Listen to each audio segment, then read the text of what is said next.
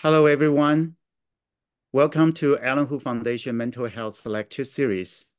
I am Qiqing Hu, co-founder of Alan Hu Foundation and host for your webinar.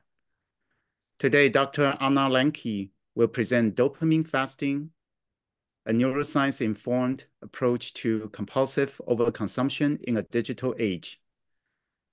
We'd like to thank the Three Valleys Community Foundation for their generous grant to fund this webinar we would also like to thank Mental Health Association for Chinese Communities for providing simultaneous Chinese interpretation, and thank you to Aida Xiao for Chinese interpretation. Alan Hu Foundation's mission is to promote mental health, raise awareness and remove stigma surrounding psychiatric disorders, and support fundamental research for cures. Please consider making a gift to Alan Hu Foundation by using the donation link in the chat box. Thank you for supporting our programs. Today, it is our great honor and privilege to introduce Dr. Anna Lembke. Dr. Lembke is professor of psychiatry at Stanford University School of Medicine and chief of the Stanford Addiction Medicine Dual Diagnosis Clinic.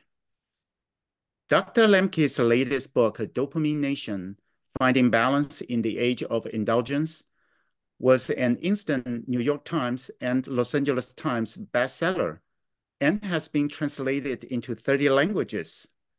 It combines the neuroscience of addiction with the wisdom of recovery to explore the problem of overconsumption in a dopamine overloaded world. In this talk, Dr. Lembke provides a practical science-informed approach to addressing compulsive overconsumption of everything from food to sex to video games. Following the presentation, there will be a Q&A session. Please use the Zoom Q&A function to submit your questions. The presentation is for educational purposes only and is not intended for medical diagnosis. If you have any persistent symptoms, please seek professional help. With that, I'm turning to Dr. Lembke. Welcome, Dr. Lembke. Thank you so much for having me. I am delighted to be here and uh, very, very honored. Um, I know that you all have a lot of questions, so I am going to try to cover a lot of material in a short amount of time. Um, and I hope that um, that we'll have time for interactive questions at the end. So I'm, can you all see my screen? I just want to make sure. I can see your screen. Great. Yeah. Now okay. is a um, presentation mode, yes. Perfect, all right. So these are my disclosures. I do not receive any funding fees or stock options, etc., from medical companies, but I have been retained as a medical expert witness in federal, state, and county opioid litigation against Purdue Pharma and others. Here's what I want to cover in about the next 30 to 40 minutes, I want to talk about the neuroscience of pleasure and pain and what happens in our brains as we become addicted. Then I want to widen the lens and talk about what I think are some broader societal implications of what's happening in our brains with the compulsive overconsumption of all of the rewarding substances and behaviors available to us now. And then finally, I want to talk about what we can do about it. I'm going to focus on what we as individuals and individual families can do about this problem, but that doesn't mean that it's just an individual problem. This is really very much a societal problem. I do think that addiction is the modern plague and one of the main problems that we'll be dealing with for the foreseeable future uh, when it comes to mental health. Okay, first of all, just to kind of uh, lay out terms, what is addiction? Addiction is the continued compulsive use of a substance or behavior despite harm to self and or others. There is no brain scan or blood test to diagnose addiction. It's based on phenomenology or observable patterns of behavior that repeat themselves across individuals from different demographic groups, different cultures, different temperaments that are very indicative of a similar kind of phenomenon. It is a complex biopsychosocial disease, so that means there are biological risk factors, psychological risk factors, and environmental or social risk factors. And that when we intervene for addiction, we really need to intervene at all three of those touch points biologically, psychologically, and socially or contextually. The good news is that it is a treatable disorder, and patients who actively engage in addiction treatment have the same kinds of response rates as people who have other chronic illnesses with the behavioral component, like type 2 diabetes and major depressive disorder. So what I want to do now is reduce the neuroscience of addiction into about the next 15 minutes. And I'm going to use an extended metaphor. But before I get to that, I want to talk about the brain's reward circuitry. So the identification of a dedicated reward circuitry in the human brain is one of the advances in neuroscience in the past 50 to 75 years. Our brain reward circuit consists of the prefrontal cortex, that's the large gray matter area right behind our foreheads, that's so important for delayed gratification and appreciating future consequences. And this area kind of acts like the brakes on a car. Then we've got the nucleus accumbens and ventral tegmental areas. These are deep within the brain. They're rich in dopamine releasing neurons. I'll talk about dopamine in a second. And they act like the accelerator on the car. Addiction or compulsive overconsumption is a problem of either too much of the accelerator or too little of the brakes.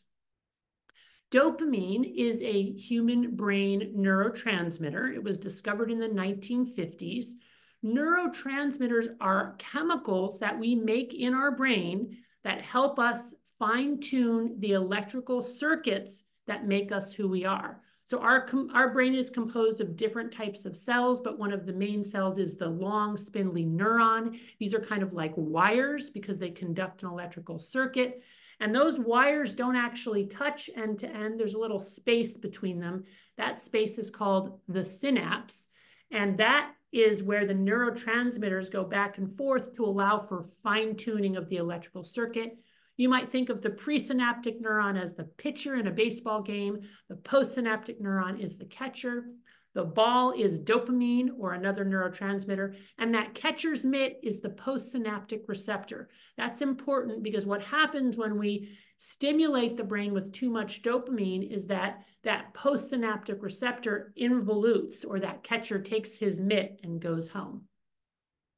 Dopamine has been identified as essential for the experience of pleasure, reward, and motivation. It's not the only neurotransmitter involved in that process, but it is the final common pathway for all reinforcing substances and behaviors. This slide is a summary of many different studies that have been done in rats and mice, looking at how different substances increase dopamine firing in the reward pathway. These are done by sticking a probe in a rat's brain right in the nucleus accumbens and measuring dopamine levels. We're always releasing dopamine at a kind of baseline tonic rate, like the heartbeat of the brain. When we do something that's pleasurable or reinforcing or novel, or just something that our brain says, hey, pay attention to this, it's important for survival, then temporarily our dopamine firing increases above baseline. That feels good. And then that gets us to do that substance or behavior again and again. And you can see here in rats and mice, chocolate will increase dopamine firing 55% above baseline, sex 100%, nicotine 150%, cocaine 225, and amphetamine 1,000. And indeed, if you give put a rat in a cage and give that rat access to cocaine or amphetamine by pressing a lever, that rat will press that lever, lever till exhaustion or even death. How hard an organism is willing to work to get a particular drug is a good marker of whether or not that animal is addicted. This is somewhat artifactual because, in fact, cocaine and amphetamine release dopamine right into the synapse, whereas chocolate, sex, and nicotine release dopamine at the end of another complex chemical cascade. But nonetheless, you get the idea that the final common pathway of all reinforcing substances and behaviors is to release dopamine in the reward pathway. The more dopamine is released and the faster it's released, the more likely that substance is to be reinforcing or addictive. Now, unfortunately, we don't have little rat and mouse smartphones that we can give to them to measure the addictive potential, which would be very nice. But we know that digital devices and digital media light up the same brain reward pathway as drugs and alcohol. And in fact, just recently, a neuroscientist in France created this rig in order to see if rats and mice would get addicted to selfies. And it turns out that a rat will continue to press a lever to see a selfie of itself uh, beyond any other additional uh, reinforcer like a jolt of sugar. So they'll do it for the joy of seeing a selfie itself. Dopamine is a chemical in our brain that's also really important for movement. For example, Parkinson's disease is characterized by a decrease of dopamine in another part of the brain called the substantia nigra. Even the most primitive nematode will release dopamine in response to food in the environment, and the dopamine allows it to locomote or move toward the food. It's probably no coincidence that the same neurotransmitter that's essential for pleasure, reward, and motivation is also important for movement, because for most of human history, we had to move in order to get the things we needed to survive. Today, that's no longer true. We can sit on the couch, swipe right and swipe left, and have it immediately delivered. It's also true that in the process of recovering from addiction, it's very important that we reincorporate movement and get the brain reconnected to the body because so much, so many of us now are li living in this kind of supratentorial or disembodied state. Okay, so what happens in the brain uh, as we become addicted? In order to understand that, it's, it's essential to appreciate one of the most exciting findings in neuroscience in the past 75 years, and that is that pleasure and pain are co-located in the brain. So the same parts of the brain that process pleasure also process pain, and they work like opposite sides of a balance. And we reflexively approach pleasure and avoid pain. We don't need to think about it. It's a very old and conserved brain mechanism. In fact, we have to think about not approaching pleasure and we have to think about approaching pain. So when we experience pleasure, our metaphorical balance tilts to the side of pleasure and we release dopamine in the brain's reward pathway. But there are certain rules governing this balance. And the first and most important rule is that the balance wants to remain level. This is what neuroscientists call homeostasis. And with any deviation from that level position, either to pleasure or to pain, our brains will work very hard to restore a level balance. How do our brains do that? Well, they do it first by tilting an equal and opposite amount to whatever the initial stimulus is. This is called neuroadaptation. And I like to think of that as these little neuroadaptation gremlins hopping on the pain side of the balance to bring it level again.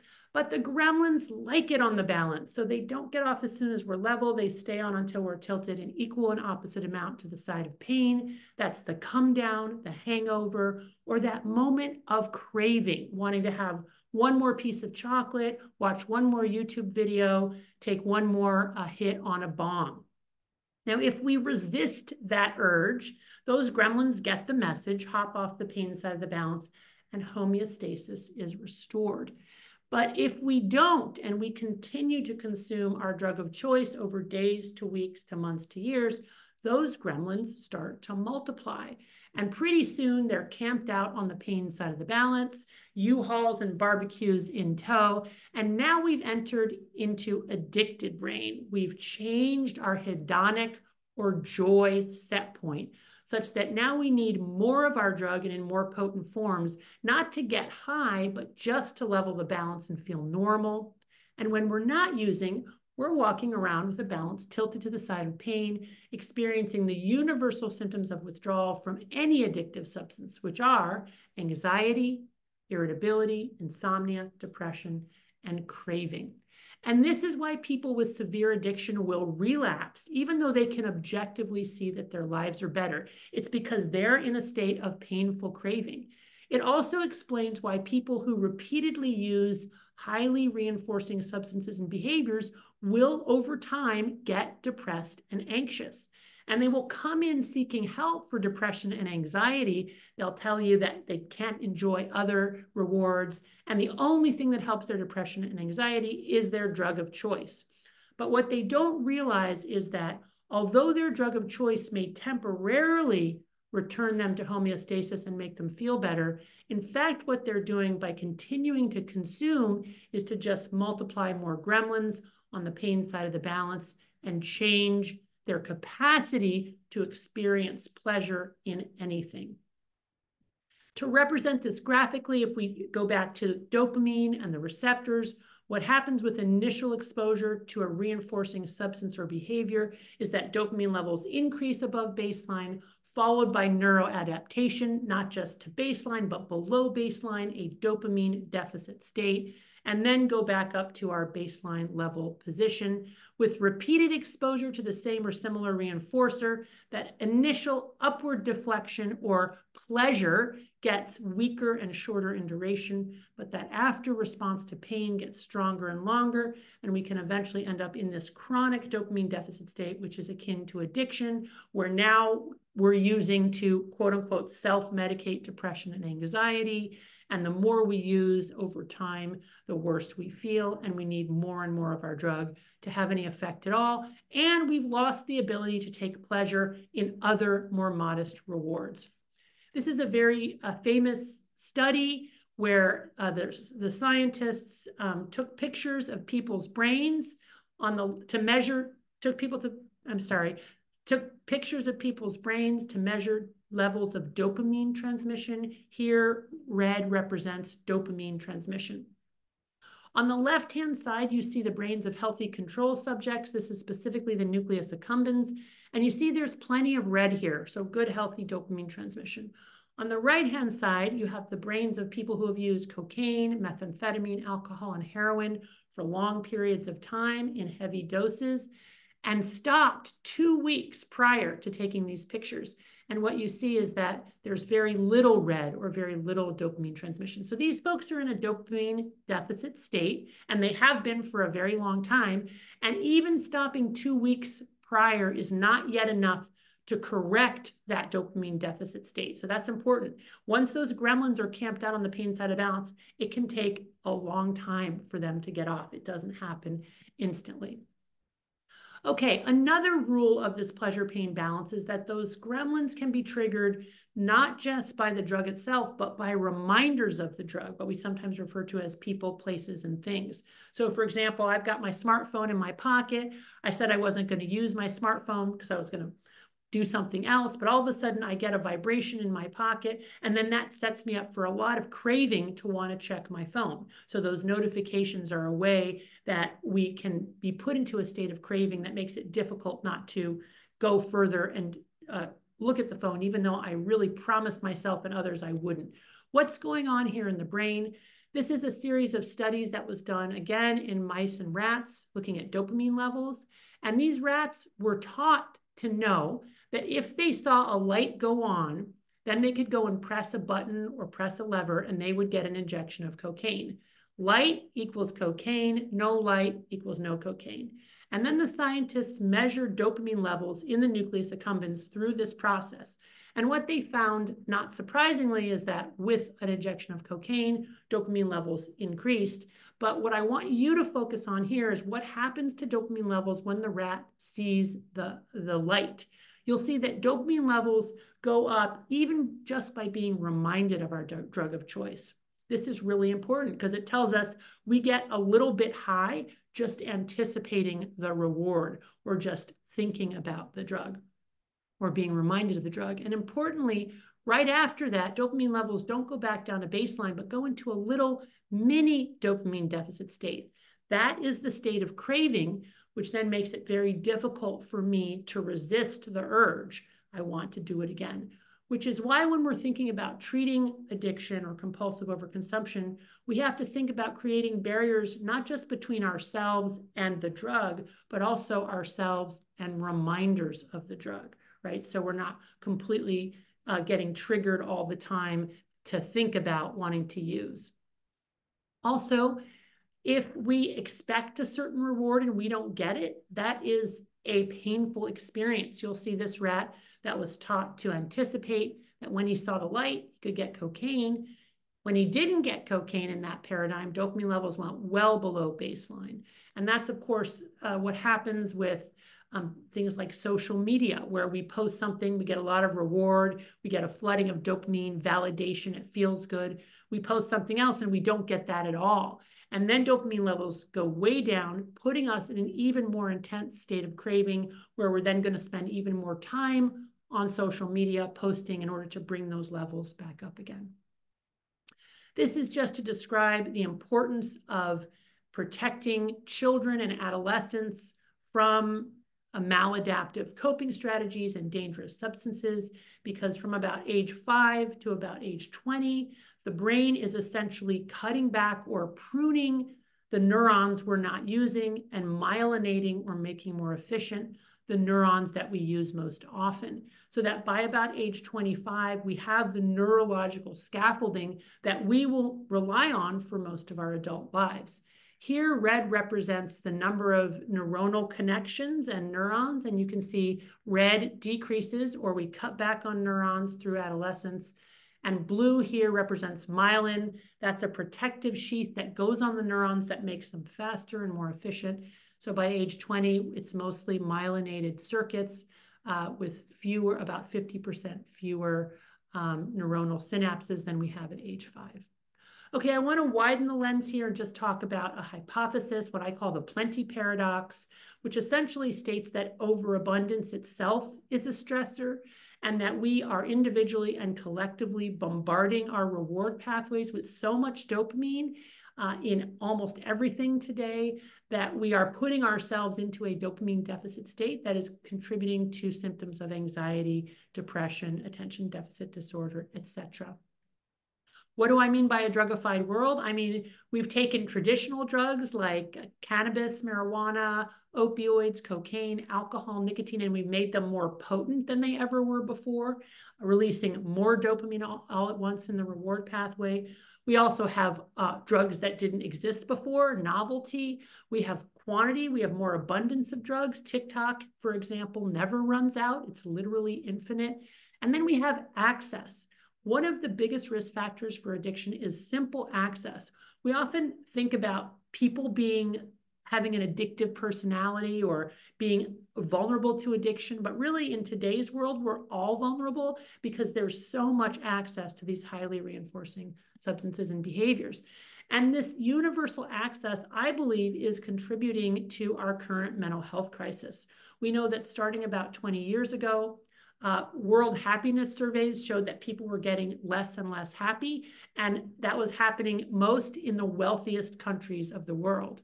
We know that all over the world, rates of depression and anxiety are going up, but they're going up fastest in the richest countries in the world, in the same countries where people have the most access to mental, mental health treatment, suggesting that we are getting something fundamentally wrong about mental health. Uh, it's probably no coincidence that the advent of the smartphone in 2007 and the explosion of the amount of time we're spending on the internet, which is both a powerful tool and a potent drug, is contributing to our mental health crisis. And then finally, sadly, we're seeing that suicide rates um, are for the first time in human history, or at least since human recorded history, um, higher in wealthy nations compared to um, poorer nations. Again, the problem of the plenty paradox or overabundance itself uh, as a stressor. So what to do about it? Again, I'm going to focus on sort of our clinical approach, which um, people, you know, you can do in your own lives or as a family or with your children.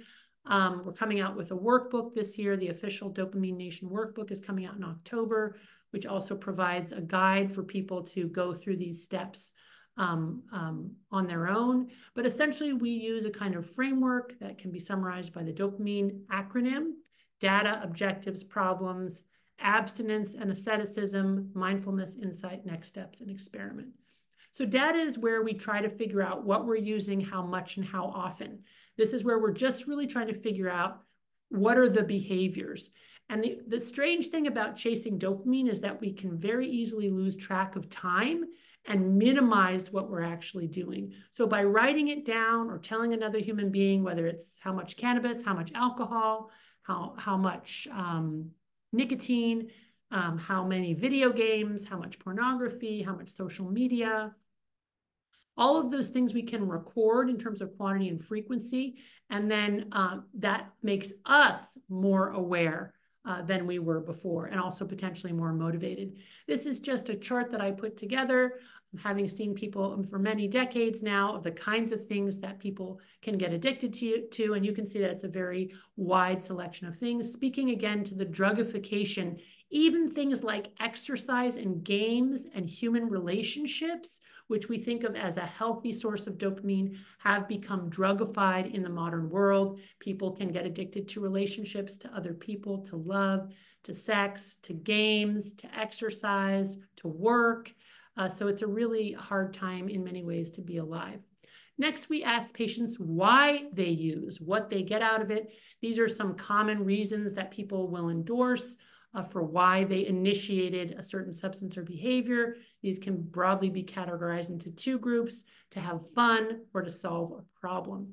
Then we ask people to talk about what are the problems that they can identify. And often very young people won't identify any problems, right? It's their parents who've identified a problem, bringing them in for video games or social media or cannabis or whatever it is. But if the child has a positive therapeutic alliance with their parents, then we can identify that as a problem. Uh, you know, and, and their desire to have a better relationship as a reasonable goal to work for. The other really important problem that, that people may not realize is that over time, our drug of choice typically stops working and can even turn on us and do the opposite as those gremlins accumulate on the pain side of the balance. So we will talk to folks about the pleasure pain balance and how on the left hand side, initially they get a big bump in terms of dopamine, but over time it stops working. They can end up in this dopamine deficit state. And then they're really struggling to enjoy other things and they're experiencing, you know, a lot of withdrawal when they're not using. The other thing that we actually do is we um, then go to recommending that they abstain from their drug of choice for 30 days. Why 30 days? Because that's about the amount of time that people can sort of realistically say, okay, yeah, I can do that. If we say abstain for six months or abstain for a lifetime, people are not going to be on board with that. But it's like, hey, could you go for four weeks without playing video games? Or could you go for four weeks without looking at pornography and masturbating? Or could you go for four weeks without using cannabis? Um, and many people will say, yeah, I can do that. I can give that a try.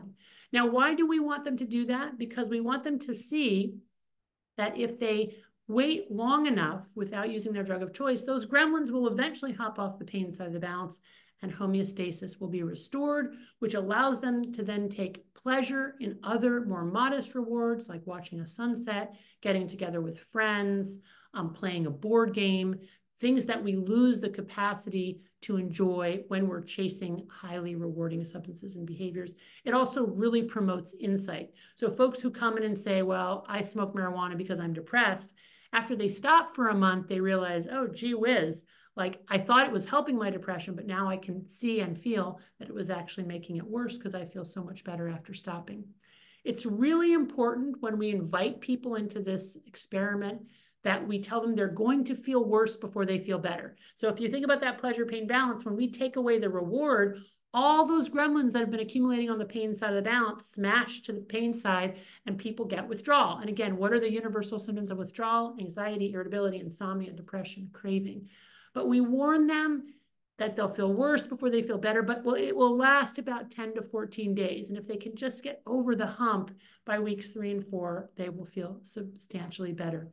This is just um, a very um, important study um, that I want to share with you that most people don't know about. It, uh, a group of adult males who met criteria for major depression and alcohol addiction were put into a psychiatric hospital where they could not have access to alcohol, but they also didn't get any treatment for depression.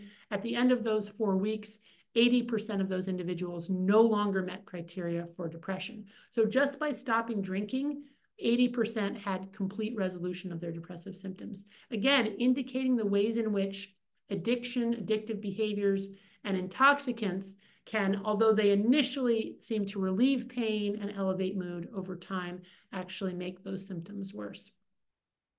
Um, we talk about self-binding with patients. This is ways to create barriers between ourselves and our drug of choice, and also between ourselves and reminders of our drug of choice.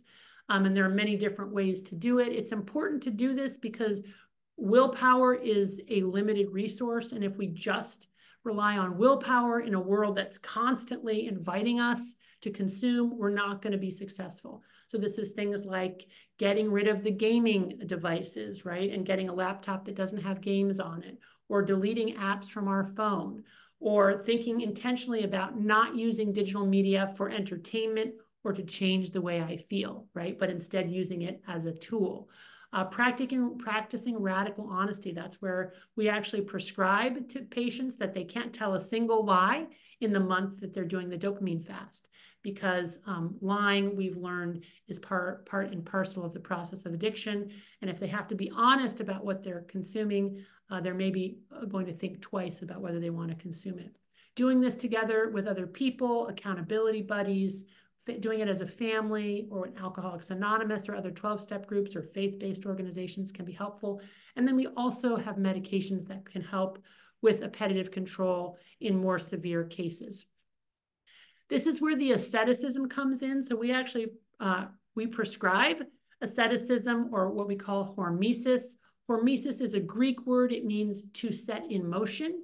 And it's the science of how, by exposing ourselves to mild to moderate doses of toxic or noxious stimuli, we actually can get our dopamine indirectly by paying for it up front. So when we intentionally press on the pain side of the balance, those gremlins will hop over on the pleasure side and we will get our dopamine fix or our dopamine hit uh, by, by that initial painful exposure. This is things like exercise, ice cold water immersion, intermittent fasting, even things like meditation and prayer uh, can serve this function. This is a graphic representation um, from some studies that have been done with exercise and ice cold water immersion, showing that once the exercise starts, uh, there's no spike in dopamine, unlike with intoxicants, but there's a gradual increase in dopamine levels over the latter half of the activity. And then dopamine levels and serotonin and norepinephrine, et cetera, stay elevated for hours afterwards before going back down to baseline levels. Notably, there's no dopamine, dopamine deficit state, so we don't get in that state of, of craving.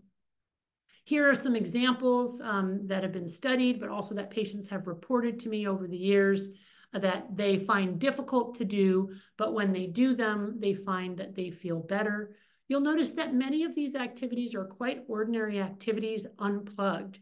So speaking to the importance of decreasing the sensory stimulation and giving our brains a chance to rest.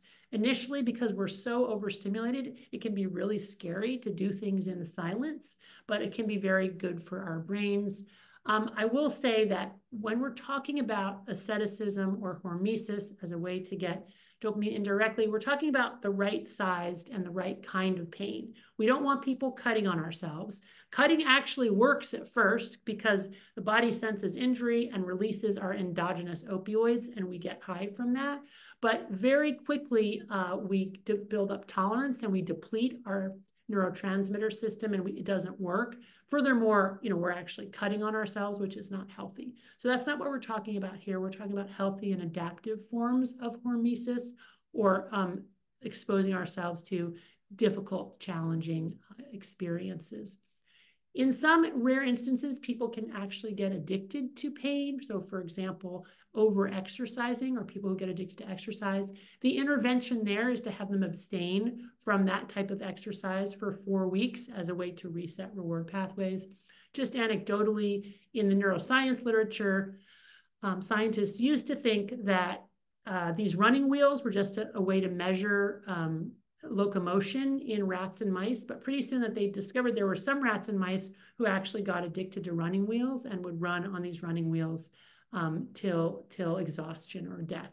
Uh, just speaking to the ways in which something as seemingly simple as a, as a running wheel is actually kind of a way to drugify movement, right? And we have many different machines now, plus social media combined with exercise and all of those things that can make uh, these ventures more addictive. Um, M is about mindfulness. Mindfulness is our ability to observe our thoughts and feelings without judgment, but also without running away from them. And when we abstain from our drug of choice, it's a great opportunity to practice mindfulness because we're not reaching for uh, TikTok, you know, to change the way we feel. We're learning to just sort of rest in and observe our emotions, allowing us to connect to our minds, connect to our bodies, get more comfortable with ourselves, and tolerate a certain amount of distress. Dealing with boredom and other painful emotions is a, is a very challenging thing for modern people because we have so many ways to distract ourselves from ourselves. Insight is part of this, uh, this experience of the dopamine fast. Again, I've had many patients over the years who come back after four weeks, if they are able to abstain, they have a, a real aha moment, this kind of realization, oh my goodness, I thought that spending all that time on social media wasn't really affecting my mental health. But now that I've stopped, I feel so much better, right? And I wouldn't have known that without stopping. That's just one of many examples. Then we kind of do a pros and cons list. What was good about the dopamine fast? What was bad about the dopamine fast? People can usually generate a long list of what was good about taking a break from their drug of choice. I had more time to be with friends and family. I was more present. I got more done. I feel physically healthier, less depressed, less anxious. On the what was bad about the dopamine fast, the top two are I was bored, like I had all this time, I didn't know what to do, and I couldn't hang out with my friends because all my friends use, all my friends are on Discord. Playing video games is how I socialize, um, and I couldn't I couldn't be with my friends when I was doing this this experiment. So we just validate that and talk about kind of yeah, that's hard, you know. But on the other hand, is it worth it? It might even be worth it because you feel so much better. Uh, this is just noting that um, for a long time in the field of addiction medicine, there was this idea that abstinence was the only goal for people with addiction, but we're finding more and more that moderation is a reasonable goal for some people, and data showing that um, people who, for example, are addicted to alcohol, after a period of abstinence, some are able to return to using uh, alcohol, less alcohol in moderation, and that it's healthy for them. And we're having more and more data coming out showing that uh, people who, if they can reduce their cannabis use to five days or less per week, uh, they will have improvements in symptoms of depression, anxiety, etc. So once people have done the dopamine fast, they've gathered the data, they've done their pros and cons list, then they decide, do I want to continue to abstain or do I want to go back to using? Many people will want to go back to using, but they'll want to use differently. They'll want to use less. And then here, um, what's very important is creating a very specific plan for what that's going to look like. So it can't be sort of like vague, oh yeah, I'm going to go back to playing video games, but I'm going to, you know, I'm going to play less. Like, no, let's come up with a plan. When are you going to play? How many hours a day? Which days of the week? What video games are you going to play? Um, what are going to be red flags for you that you're getting back into this kind of compulsive overuse? I want to end by just saying again this is not just a problem for individuals and individual families, although mainly families are left to deal with especially the problems of digital media. Uh, this is something that really we as an entire society and frankly a world are having to deal with. Schools and communities have to really step up. I think that schools should ban smartphones. Um, I don't think that they allow teachers to teach and students to learn. I think it needs to be a, a top-down process of not allowing smartphones during school time hours. If people need some kind of phone, they can get a light phone or a flip phone.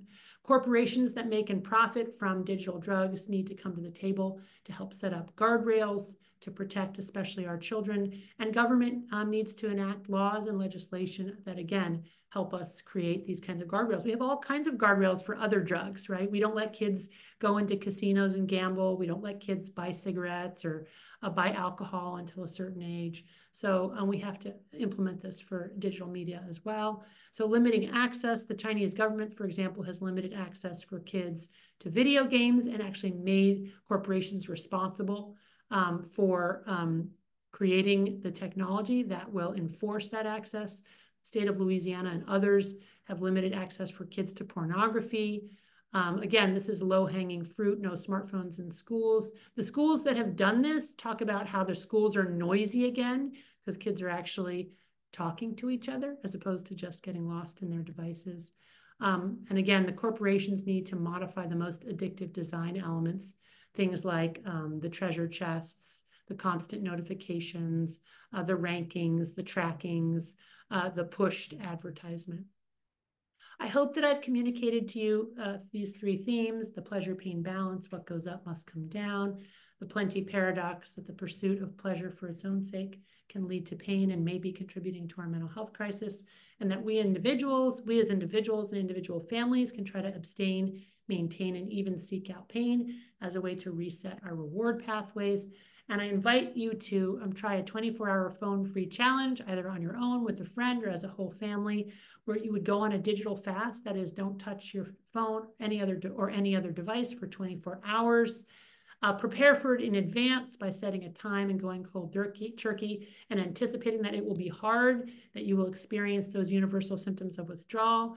When you get cravings to use, try hormesis, take a cold bath, do 20 sit ups, organize your closet, something more painful than the pain of withdrawal as a way to alleviate the craving. And then when the fast is over, be really thoughtful of how you want to reintegrate it back into your life.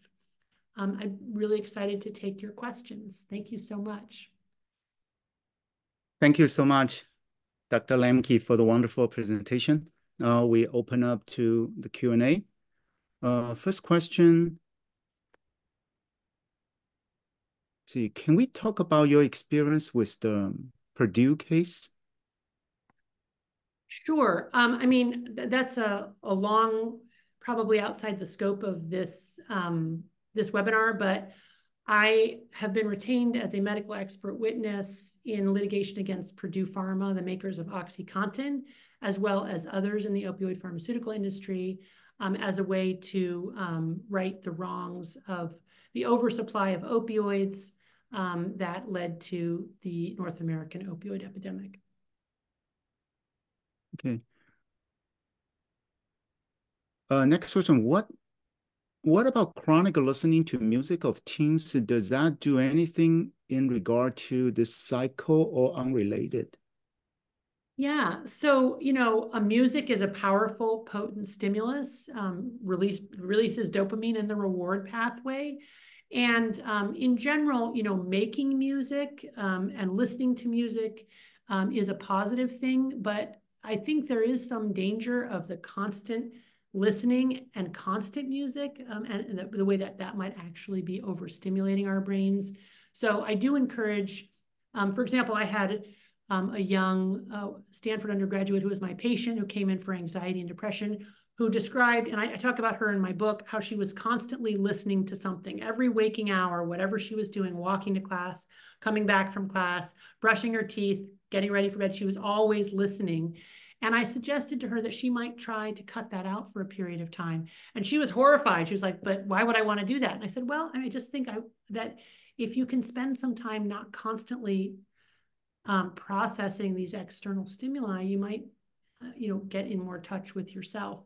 And so she gave it a try to her credit. And when she came back and said, oh, Dr. Lembke, uh, while I was walking to class for the first time, I just started to notice the trees. So again, this wanting to really promote a feeling of connectedness with ourselves, other people, the environment, which a lot of us don't have now because we're, we're constantly in this, in this place of, of extreme stimulation. Uh, you said like one month is a good fasting to help you get uh, regulated. What if we get like one one time per per week, no phone kind of things? Would that do anything or not really? give the physiology? Yeah, so I, think that's a great thing to try. You know, as you saw at the end, I actually recommend less than a week. I just go for 24 hours. Go for 24 hours and don't touch or look at a single digital device.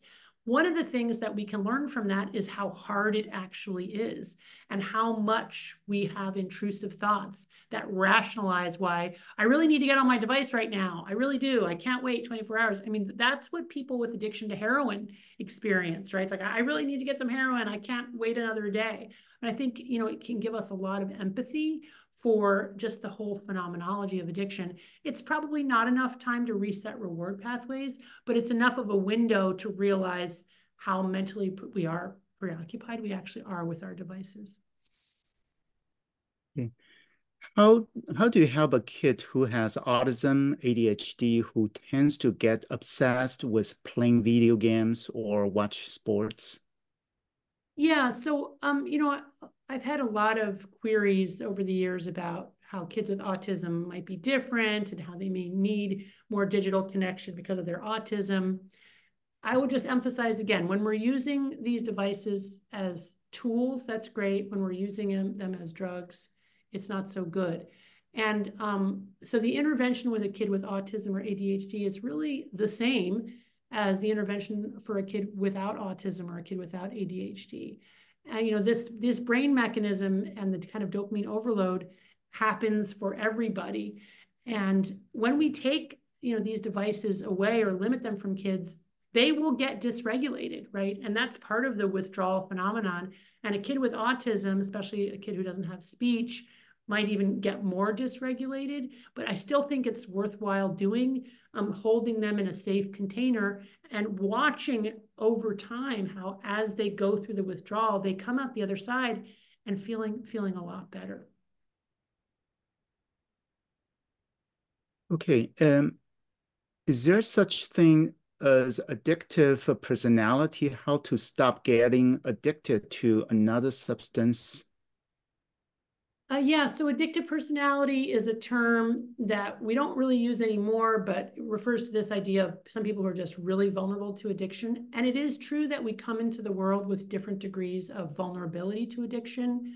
Um, they're, they're, about 50 to 60% of the risk of getting a, a severe addictive disorder is genetic or inborn, may have something to do with how we respond to rewards, may have something to do with baseline dopamine levels being lower may, may have something to do with trait impulsivity or inability to press the pause button between desire and, and acting on that thought or feeling. Um, so so there there is you know that that is true. Um, there is there is there is there are people who come in who are more vulnerable. Okay.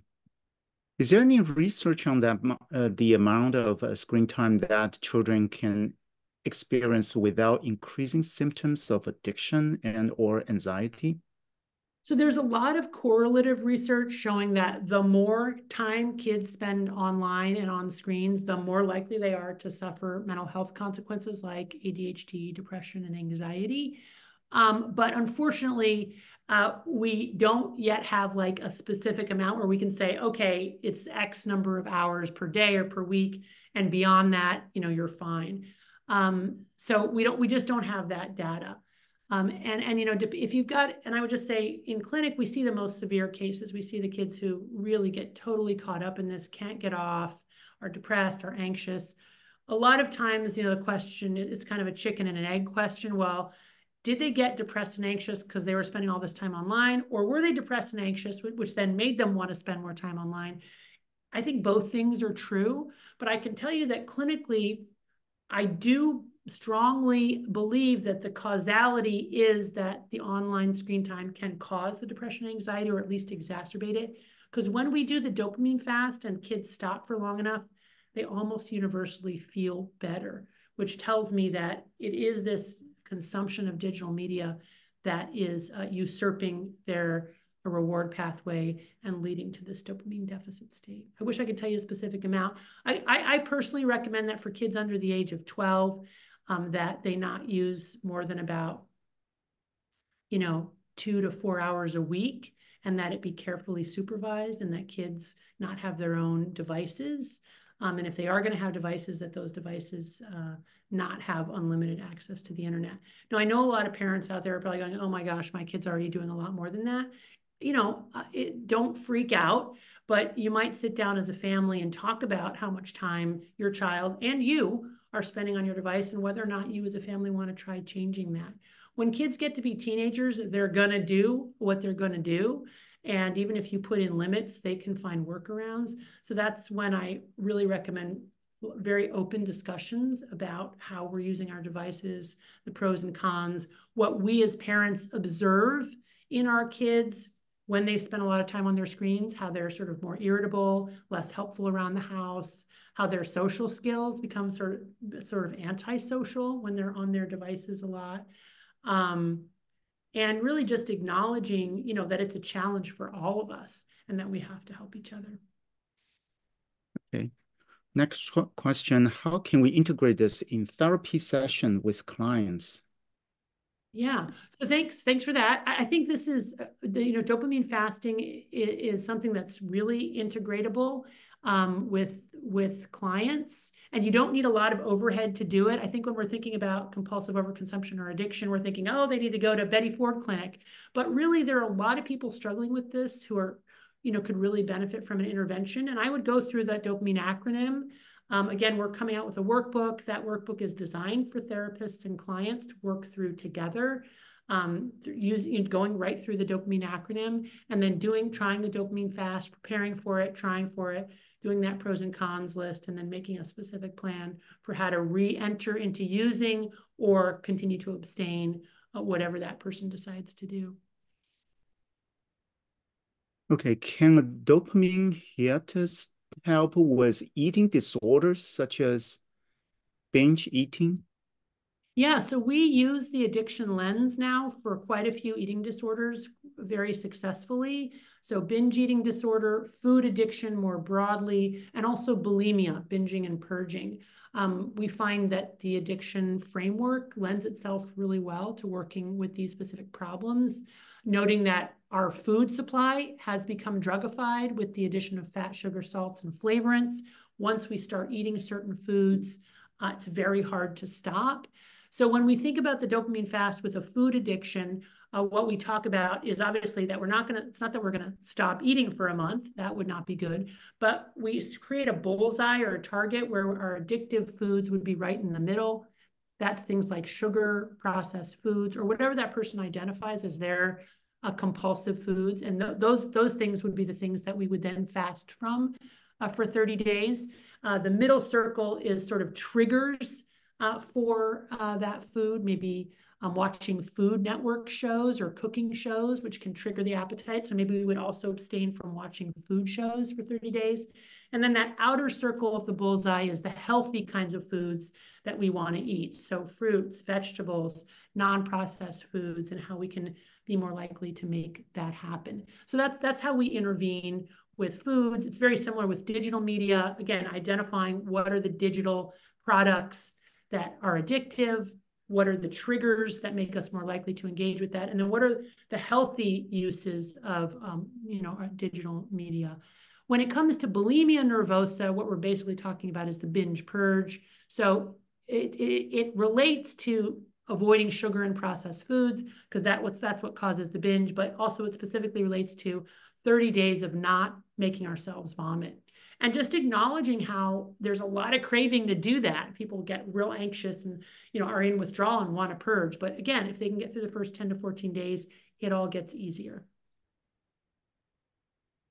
Okay how does this therapy compare for efficacy to psychotropic medications yeah, so there are many paths to the top of this mountain, uh, the, the mountain of you know getting well, well, and and leading a flourishing life.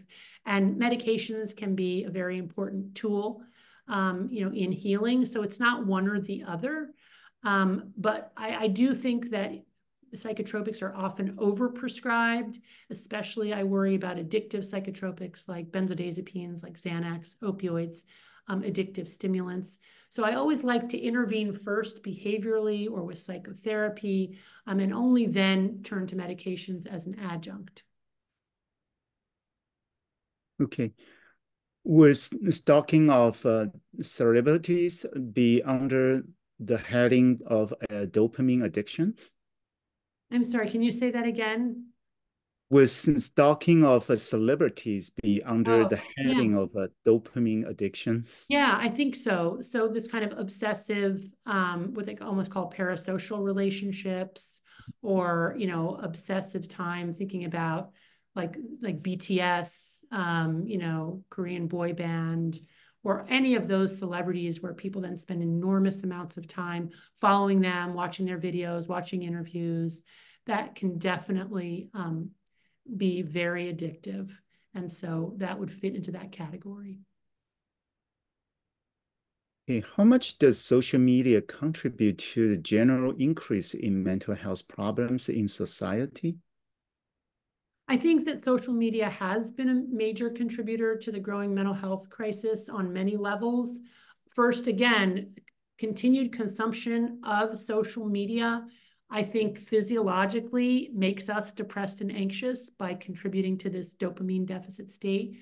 You also have the problem of these invidious comparisons. We're now comparing ourselves not just to our siblings or our neighbors or our classmates, we're comparing ourselves to the whole world. And so being on social media can invariably make people feel that they're just not measuring up, that they're less than, that everybody else is so much cooler and smarter and more beautiful than they are. So that contributes to anxiety and depression.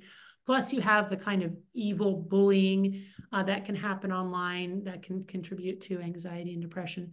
So I think it's really a pernicious and dangerous. It doesn't mean that it has no uh, social value. I mean, it's wonderful the way that people can make positive connections across great distances. Um, you know, the meeting that we're having now. So there's a lot of good utility, but there's definitely this dark side. It's, it's not a matter of getting rid of all of social media. It's how can we create guardrails for our children and have a healthier relationship with the technology. Okay. How long before going to sleep at night should we and our kids really focus on reducing dopamine inducing activities?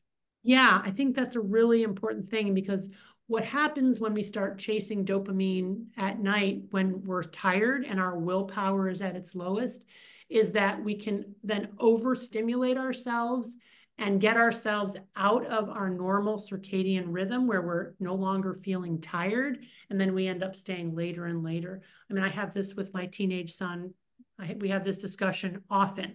You know he comes home at the end of a long day he's tired he wants to unwind he gets on youtube you know that's relaxing and enjoyable for him he can escape. And then pretty soon you know i'm waking up at midnight or one in the morning and he's still on youtube. So lots of discussions about how did that happen? That wasn't your intention. I know you were planning to go to bed at 10 p.m to do your work how is it that you were still up at midnight you know on youtube? What do you think is going on in your brain? How did you feel the next day?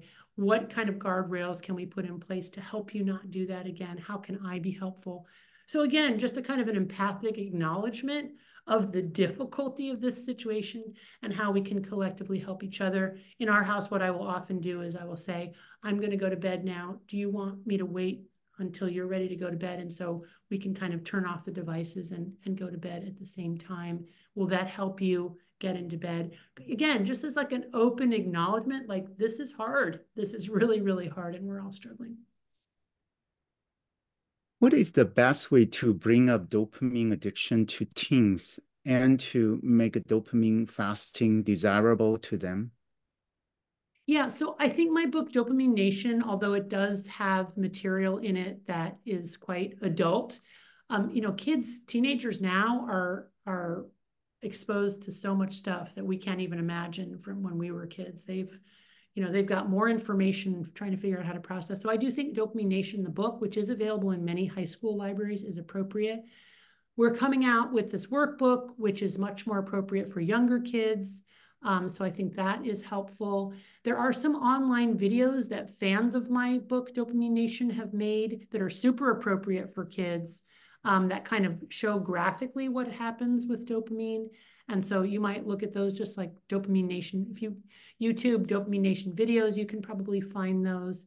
And even just yourself, educating yourself, like you've done coming to the seminar, and then just having a family discussion, having an open discussion, acknowledging your own difficulty with digital media, um, reflecting back to your child what you observe about their consumption of digital media, what you're concerned about, what you might do as a parent and as a family to get a healthier relationship with the technology. Okay. Dr. Lembke, we, we have a one more minute. Maybe we have um, two to three questions more. Okay. Can something as positive as reading also lead to dopamine overload? Yeah, so I mean, in my in my book Dopamine Nation, I actually talk about how I got addicted to romance novels. Even the novel has become drugified. Um, you know, the people they know exactly how to write them so that they're page turners. But in general, I would say, you know, if you've got a child who is a you know a, a reader, that's primarily good as long as it's not cutting into their sleep and cutting into their exercise. I still think that reading um, which is a dying art, by the way. Uh, uh, you know, if they're reading the right kinds of things, and again, it's not cutting into sleep and self care, is still generally healthy. My own uh, reading addiction notwithstanding. Okay. Um, are there support group for families that are going to try dopamine fasting? Yeah, so there um, there are more and more support groups that are emerging for this, modeled on the 12 steps of Alcoholics Anonymous. Um, I will refer you to, to support groups called um, Internet and Technology Addicts Anonymous, ITAA. So if you Google Internet and Technology Addicts Anonymous, they have a whole website, they have meetings, uh, they're a really awesome organization, and uh, they directly address uh, this kind of, um, uh, you know, sort of digital overload and what to do about it. Okay, um, last question. Um, in the sense of a dopamine as a currency, what uh, would be a AI boyfriend, AI girlfriend's percentage? Is there any uh, research about that? Um, you mean how much an AI girlfriend AI, yes. Yeah, might be triggering the dopamine reward pathways. Yes. Yeah, so I think AI girlfriends and boyfriends or social media in general is a really um, potent example of how we've drugified human connection. So when we make um, a, a deep and meaningful and positive human connection, that releases oxytocin, our love hormone, and oxytocin binds to dopamine releasing hormones in the reward pathway. We get dopamine, it feels good. Falling in love feels good. Um, and that's why we want to do it, right? That's that's how we evolved to make us, you know, mate so that we would propagate the species. But what AI girlfriends and boyfriends and social media have done is essentially crystallized human connection down into their most addictive forms. With very little upfront work, right? And very little need to negotiate other people's needs, we can now control and manipulate this highly reinforcing love relationship. And that is really not healthy. Okay. Thank you so much, Dr. Lembke, for sharing your knowledge. Um, it's a great uh, concept uh, with us today. And thank you to everyone for joining our webinar. And we hope to see you again in the next webinar uh, please uh, help take a moment to fill out a short survey. Your input is critical for us to uh, write a grant report. And I will leave the donation QR code for a few more minutes. And thank you for donating to support our programs. And with that, I'm closing the webinar. Thank you, Dr. Lembke. You're very welcome. It was my pleasure. Take good care, everybody. Thank, take care. Thanks, everyone. And take care and stay well. Thank you. Goodbye.